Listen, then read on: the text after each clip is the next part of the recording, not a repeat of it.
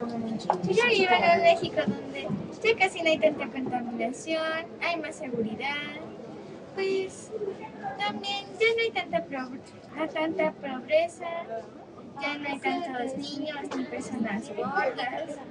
Es un lugar más cambiado, diferente. Ya, eso, eh, pues